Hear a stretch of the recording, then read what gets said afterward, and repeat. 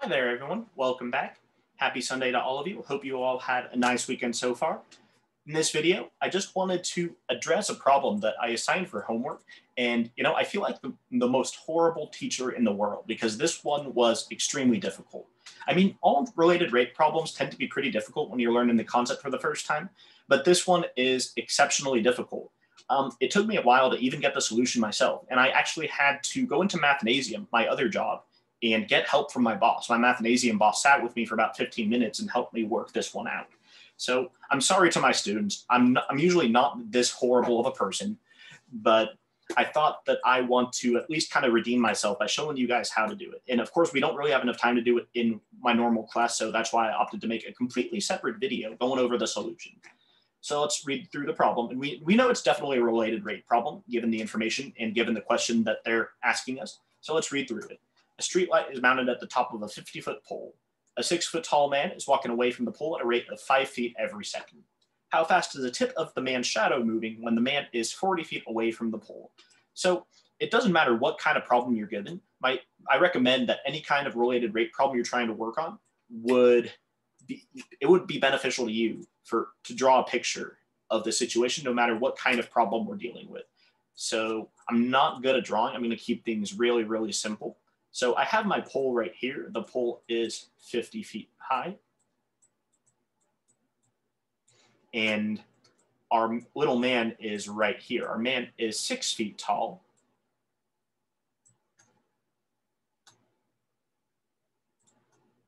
And I kind of want to draw a line of sight going from the light pole, from the light to the place where the person's shadow would be projected.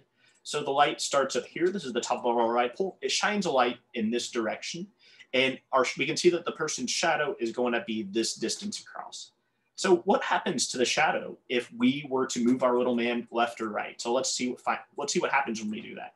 So I'm going to be really lazy. I'm not going to draw a stick man. Instead, I'm going to draw a uh, I'm going to draw a figure that is as tall as the stick man. So this is six feet right here. And our stick man also has a height of six feet. So this is six feet. And that's really sloppy handwriting, six feet. And then this right here is also six feet. So I want to draw another line of sight originating from the same point, but this time it will be projecting a shadow with a bit shorter of a distance than what our the shadow that our little man has.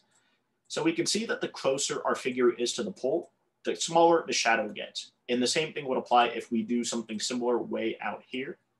If we drew another distance, another vertical distance of six feet way out in the distance like this, and we draw another line of sight being projected from the light all the way down to our little man's head, we can see that the, the shadow would be getting bigger still. So we can definitely see that the length of the shadow definitely depends on the person's distance. It's not going to be a fixed rate. It is not linear. So we want to see if we can establish a relationship for the length of the shadow based on the distance from our person to the, the, length, the origin of the pole. Can't talk today. We want to see if there's a relationship between this quality right here, this quantity I meant to say, and this quant, qual, this quantity quality is, why can't I talk today? I apologize for this. I'm, I'm tongue tied for some reason today. We want to establish a relationship between those two quantities. I got it that time, quantities, not qualities. so let's think about a way we could possibly work on that. So let's take a look at this information, see if we can convert that from English into algebra language. So we've taken care of the 50 feet, we've taken care of the six feet. So those are just vertical distances. We've accounted for both of those figures in our drawing. We've extracted all possible useful meaning from both of those bits of information. So we know that our little man is traveling at a rate of five feet every second. So this is a calculus class. We're learning things like limits and derivatives and integrals. So we want to take this information and convert it into modern calculus notation and vocabulary. We want to take the fact that this man is traveling at a rate of five feet per second and then convert that into calculus language. So what that means is it's going to be a rate, and we we should by this point we should automatically be conditioned to think of a rate as oh hey that's a derivative this right here is some kind of a derivative. It's some kind of rate of change of some quantity. So what's changing? So the person's distance is changing. We start at the base of the pole, presumably, and our person is moving to the right. So the distance between the pole and our little man is constantly changing. So that's going to be a rate of change of the person's distance from the pole. So that means if we call this entire distance x, I know that's a really sloppy line right there, and I apologize for that. We can call that x. So if x is the distance between the person and the pole, we can say that the rate of change of that distance with respect to time is going to be five feet every second, or just five. And then another quantity we have to consider would be the length of the person's shadow. We want to see if there is any relationship. Well, I mean, we know for sure that there is a relationship between the length of the shadow and the person's distance from the pole, but we want to figure out exactly what the relationship is. It's proportional by some amount. We want to see if we can find the proportion. So we're going to need a little bit of geometry knowledge to help us out with this one. I'm going to draw another figure.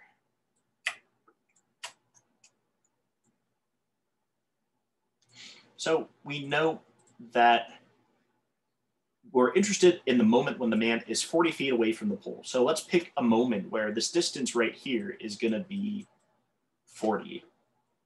The 50 feet still applies. And then we are going up six. Because that is the height of the man. And I know I'm really horrible at drawing. This six clearly is much bigger than that one. So please just ignore that. I wish I were better at drawing, but I don't think that's ever going to happen. I'm not going to art school for this. So just try to get used to my very disappointing drawings. As sad as that is to say, they're going to be pretty bad. So we have our figure. What we don't know is the length of the person's shadow in this proportion.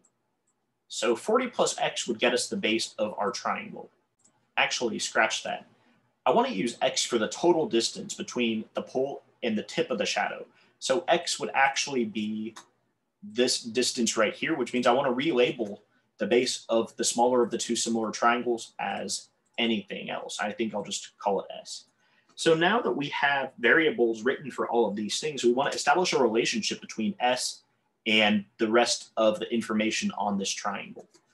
So let's see if we can find S at this given instance. So of course, S is going to change as things often do in a calculus class, but we want to see if we can model just how what S should be in this particular instant when the man is 40 feet.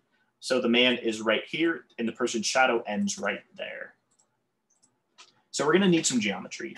We're gonna need to set up a similar triangle situation where we have S over six, length of the shadow divided by the height of our little man equals 40 plus x, so the length of this, the base of this in big triangle, so 40 plus s, divided by the height of the bigger of the two triangles, which is 50. And I'm not going to grind through the tedious busy work. I'm going to spare you the derivation and the solving for s, but we get an s value. When we solve for s, we get a value of 80 thirds, 80 over 3. So remember that this is the length of the shadow. It would be 80 thirds feet away from, it would be 80 thirds feet. That would be the length of the shadow when our man is 40 feet away. So if we wanted to create a proportion that relates S and 40 together based on the person's distance from the shadow, we could create a proportion like this. We could say that we have 40 to 80 thirds would be the proportion between the distance between the man and the pole and the length of the shadow created by the light projecting off the man onto the floor. So this is the proportion we want to use. And if we were to simplify this, we would get some, we would get two thirds if we were to simplify this. We would get three to 2. Now, how do we use this information to help us? So we want to create some kind of a differential equation, some equation involving derivatives of these quantities to help us figure out the unknown. So we want to find the rate of change of the shadow because the distance of the shadow is definitely changing as the man moves on. So S is the length of the shadow. dsdt would be how fast is the distance, how fast is the length of the shadow moving as the man travels away from the pole. So we have dsdt would be two thirds. I got a bit ahead of myself there. It should be the derivative with respect to time of 2 thirds x, which is going to be the total distance between the shadow and the pole. So I want to re-emphasize that part again. So this entire horizontal distance right here, this right here is x. x is the distance between the pole and the tip of the man's shadow. So we have this differential equation to help us here. And now we want to see if we can solve it. So DSDT is what we're trying to solve for. They're asking us how fast is the tip of the shadow moving when the man is 40 feet away from the pole. So DSDT is what we're trying to find. So what we want to do now is we want to just solve this differential equation. We already have it in the form we want. We're trying to solve for DSDT. So let's go ahead and just solve for it now. So what we get is DSDT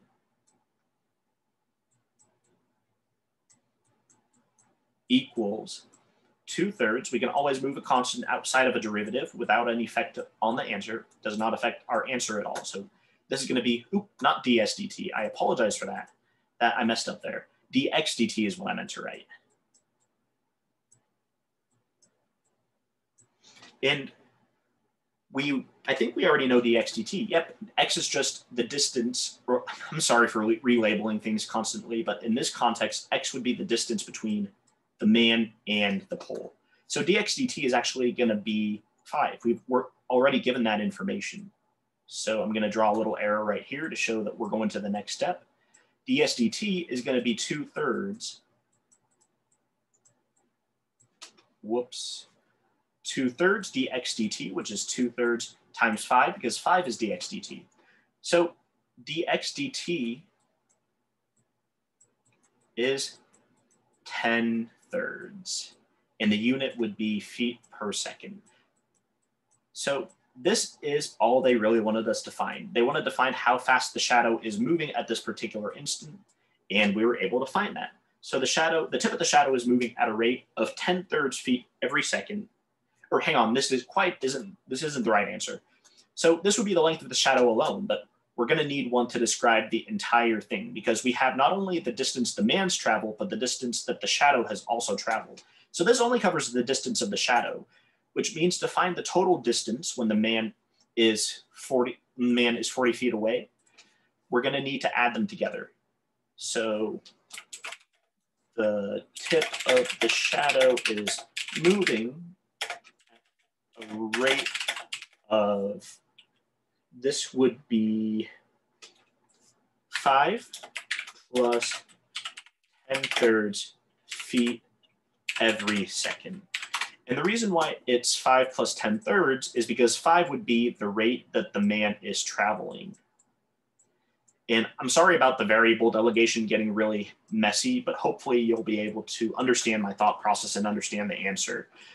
No, no matter what, hopefully. Let me know if you have questions. I'm always available to answer questions if you have them. So it would be the rate that the man is traveling plus the rate that the shadow is traveling. That's why we do 5 plus 10 thirds. So we get an answer of 25 thirds feet per second as our answer.